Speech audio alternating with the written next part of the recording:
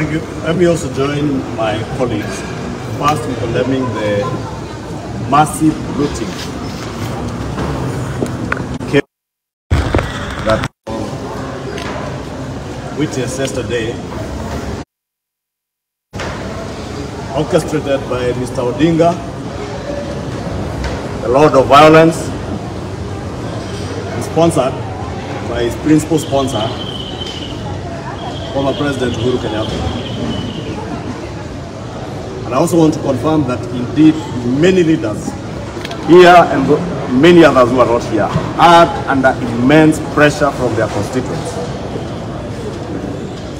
Kenyans, peace-loving Kenyans asking government, if government is not able to take care of the situation, pressuring leaders that the public be allowed protect their lives, businesses and their property. And as we commend the police for the very good work that they did yesterday, we want to ask them today that they must hold people to account for the anarchy yesterday, for the massive looting of property and destruction of property, and nobody should be a sacred cow.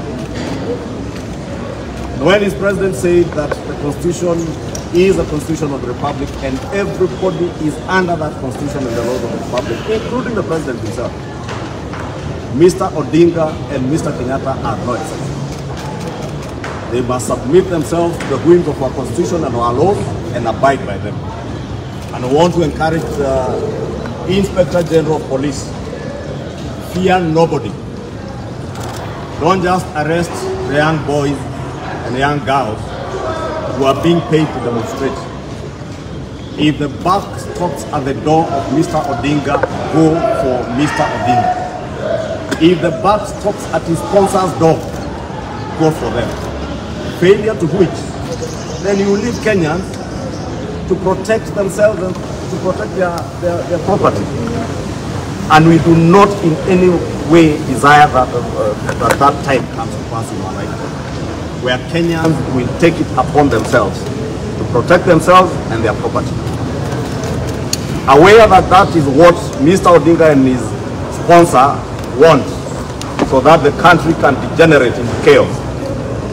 For Mr. Odinga to find an avenue swimming in the blood of innocent Kenyans to get an opportunity at another step of getting closer. to had the time under the handshake regime he had the means, he had the system, he always thought he had the deep state, but instead of using the deep state and the means and the system he had,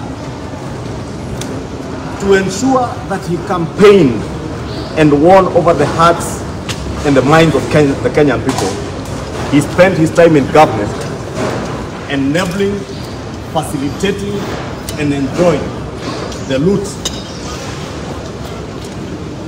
that came out of the handshake regime, especially in the last six, seven months of that regime.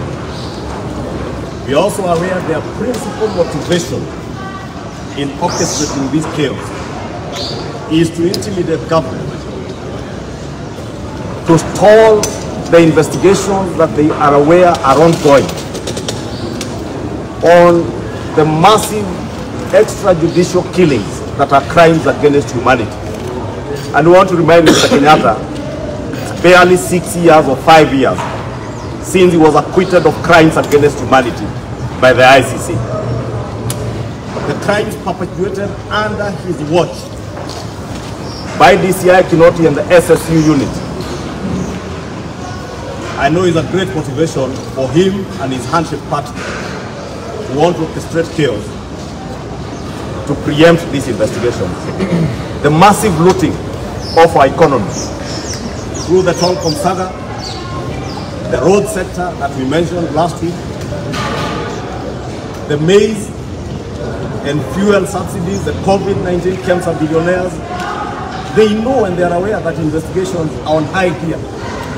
And therefore they want to preempt all these investigations. But as we have said, they will fail. And the truth very soon shall be known on who are the beneficiaries of the telecom haste, of the cancer COVID billionaires haste, of the road sector haste, where, as we mentioned last week, roads were being contracted. Foreign contractors were being contracted to build roads with no procurement being done and at costs that you cannot imagine. That people can be contracted to build a gravel road at a price of 40 million shillings a kilometer with no due process. These are the things Mr. Odinga and Mr. Kenyatta are afraid of.